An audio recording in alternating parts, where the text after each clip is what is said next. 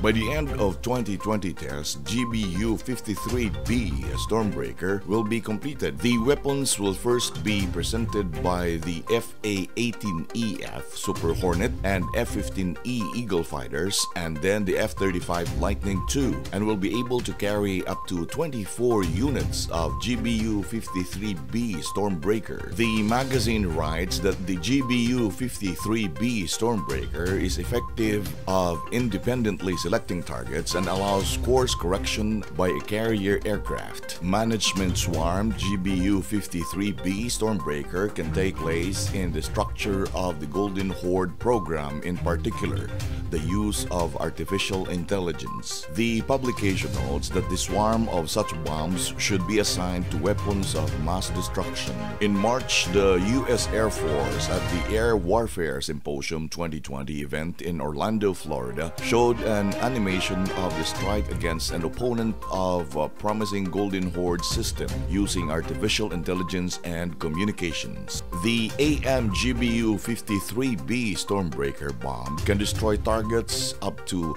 110 kilometers away. A feature of the weapon is the three-mode system, which includes an infrared sensor, which allows to hit moving targets, as well as the possibility of use of in any weather conditions news.